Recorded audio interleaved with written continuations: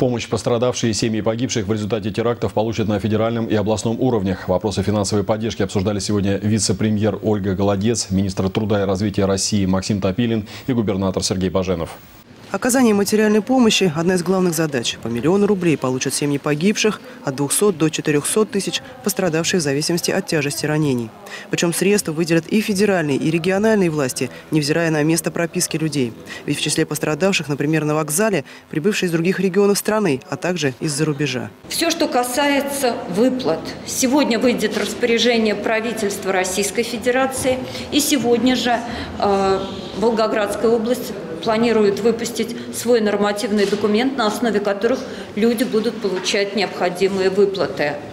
Никаких бюрократических проволочек не будет. Все службы будут работать четко и слаженно. Также по линии социального страхования будет назначена пенсия семьям, которые потеряли кормильца, и организованы выплаты людям, которые на момент теракта находились в Волгограде в командировке.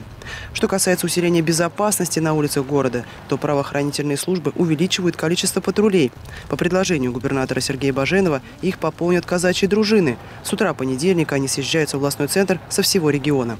Вместе с сотрудниками патрульно-постовой службы, а также добровольными дружинами, казаки будут проверять общественный транспорт, остановки и нести вахту на оживленных улицах Волгограда. Сегодня одна из э, главных задач – это помочь э, правоохранительным органам э, в организации безопасности на транспорте в местах массового скопления людей. Казаки – народ обученный, и патрульно-постовая служба, она немногочисленна. Мы усилим таким образом количество патрулей для того, чтобы выявлять какие-то подозрительные предметы, и осуществлять проверку подозрительных лиц.